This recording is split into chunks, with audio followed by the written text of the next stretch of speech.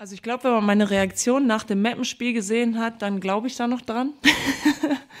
ähm, mir ist natürlich bewusst, dass die Wahrscheinlichkeit sehr, sehr gering ist. Aber ich bin doch sehr optimistisch unterwegs. Frag mich nicht warum. Ähm, es ist das letzte Spiel von Potsdam in der ersten Liga. Ähm, da können, glaube ich, vielleicht, hoffentlich äh, nochmal Kräfte freigesetzt werden, die ähm, vielleicht Bayern zum Stolpern bringen.